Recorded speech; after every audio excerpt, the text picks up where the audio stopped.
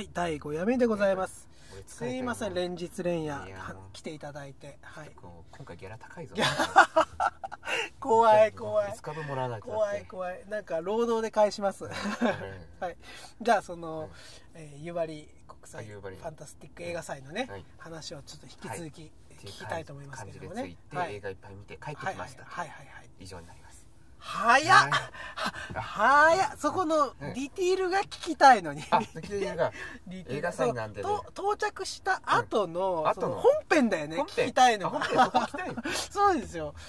今、うん。その始まる前じゃないですか、うん。今いっぱいやって。それですごいいいおないいなっていうになって言って それすごい気持ち高ぶるじゃないですか、うん。あいいイベントなんだなって、うん。内容内容教えてくれよ。内容。内容だって映画見てるだけだからだって、いやまあでもほら、うん。例えばね、うん。こういうなんていうのかな、まあ、直接的にはねこの作品がどうかっていうのは言えなくても、うん。もうちょっとあるじゃないですか、うん。こう中身の雰囲気がいいなとかね。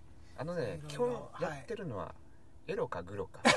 あ結構そうなんですか、うん。なんかどの映画見ても大抵女性が脱ぐ、ああそうなんですか。ちみどろのシーンが入ってるえー、やっぱりじゃあ、そういう映画を見た監督が、この映画祭のこの雰囲気好きだわ、自分も出そうってなってまたエログロが出てくるみたいなっていうのもあ感るしじですかね他の映画祭じゃ絶対見せてあの上映させてくれないからもうちょっと本当変わり変わり種の監督さんとかが集結しちゃう。要するにその懐が深いんですねその映画祭が。そうそうそうそうああすごいな。じゃあああなんか僕すごい今興味湧いてきました、うん。その説明で、うん。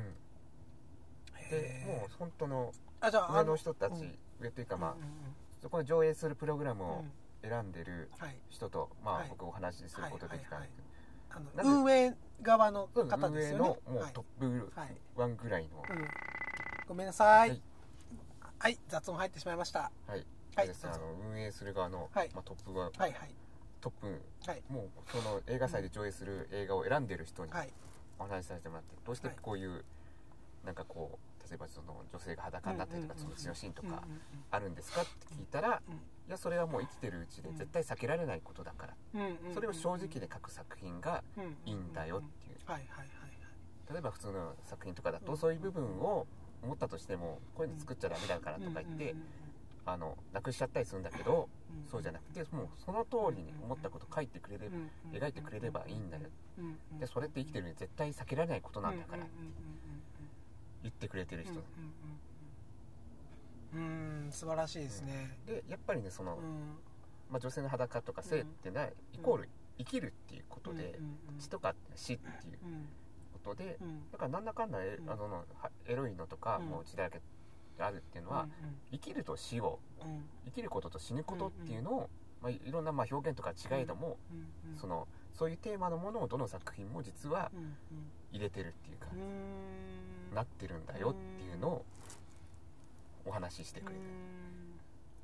そうするといわゆるお客さんっていうのは子供はあんまりいないうんあんまりいないしでもね、うん。その例えばそういうのをやってる裏で、うんうんうん例えばディズニーの映画やってたりとか、あそういう併設されてるっていうあそうそう映画か館がそういうものもあるんですね。上映してるのが4つぐらい、うんうん。うんはいはいはい。45箇所ぐらいでうん。同時進行でやってる、例えば、まあ、一番大きいところでやってるのはやっぱり商業作品とかをずーっとまだ公開されてないものとかディズニーの映画だとかはいアニメ映画とかをやってたりするでそこいうところはもう本当家族連れとかうん。その血とかそういう暴力的なもの苦手な方とかがたくさん集まって。すごいです。ねうまくうまくできてますね、うん。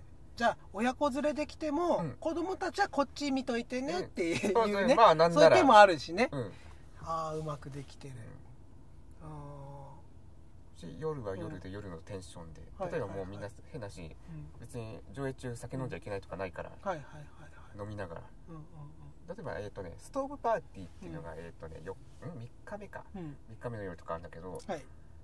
もうそこでみんな死ぬほど酒を飲み、うん。死にはしないけどうん。たらふく酒を飲んで、もうそのすごい酔った状態で、その夜にやる映画見にうん。バーッとみんな行ったりするとね盛り上がり方が半端ない でうん。その上映する作品もそこういうそういう状態の時に見るのにベストな作品だっていうのを選んでやってるんであ例えばね「鉄道」っていうのがあるんですーはいはい。はいなんか話にだけはよく聞くんですね、これはもう3分のいろんな監督さんが3分のすごいおバカなムービーを作ってそれをひたすらうんうん流していく。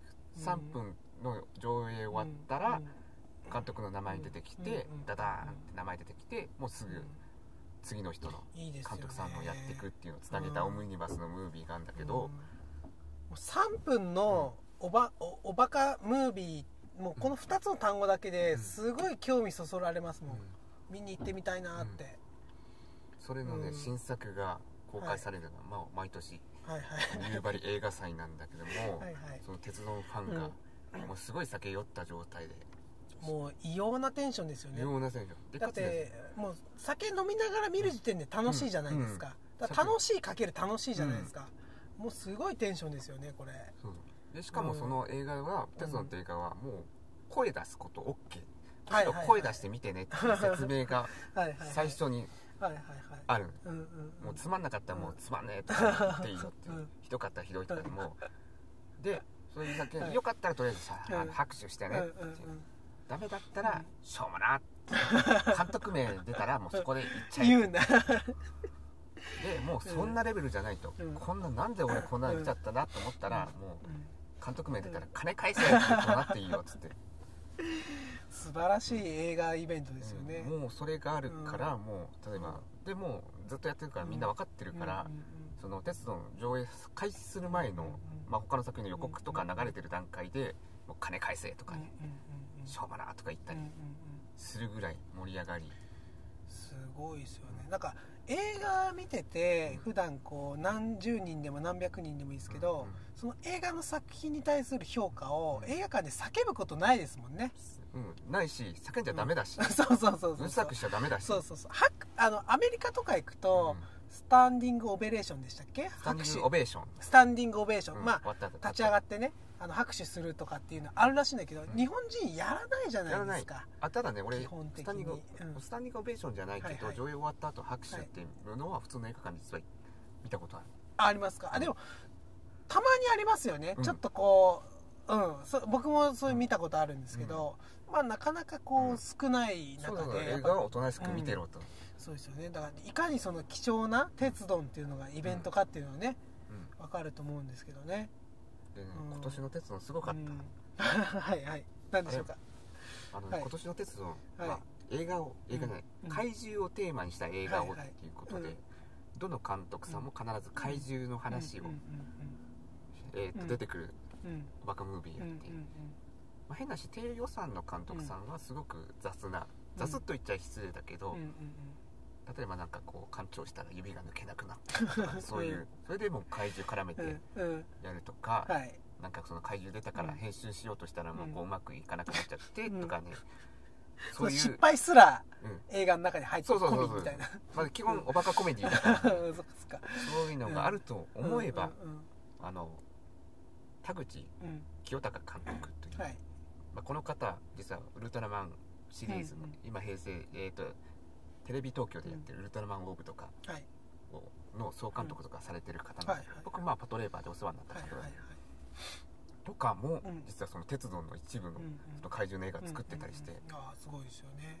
もうこれウルトラマンじゃんっていうレベルのうん。映像がバーンと流れてきた。り、それなもう会場シーンってなるんですか？それそんななんかまあうん要するにうん。いいもいいというのかな。おば本当におバカな感じにななバカなのもあるし、うん。それだともうクオリティ高いから、うん。もう拍手喝采みたいな。ああはいはいはい。そっかそっか。うんうんとかあとね岡秀樹監督、うん。はい。この方もね確かウルトラマンの映画とかをうん撮られてるよううん。うんうんなすごい監督さんで、うんうんそう岡秀樹監督が今回確かにプロデュースで全面を全部を最後まとめたん。だけど、はいいやか最後がめちゃくちゃ感動的で、あいつもはその鉄道って感動的ってうん。ありえない変あな話あを見てうん。あバカなことを言わってたなバカだったなってわーって騒いで終わりみたいなうん。映画なんだけどうん。も今年の鉄道うん違ってなん。かうん。そのそれぞれの監督さんがうん。作ってたうん。その全部バラバラなんだけども、うん。その全部バラバラの映画をうまく一本の、まあ、うん。怪獣映画みたいにまとめたオチみたいのがそへれも結ー構本当ウルトラマン見てるんじゃないかレベルのクオリティのものが最後についてて結構感動した泣いたっていうぐらいの人が出たぐらいな映画になってるうんうんなんかもうすごい見てみたいですねそれ。本当ねこうん。の鉄道、うん。もうこれまでのシリーズも面白いからうん。ぜひ見てほしいんだけども、このね最新の鉄道の怪獣の、うんなんとかチャランポラン祭りとかいううん鉄道うんっていうやつ、うん。確かタイトルだったんだけども、本当見てほしい。これ見ないともったいない、でもそうえっとそういうイベント形式の、その夕張のファンタスティック映画祭、うん。えーと、うん。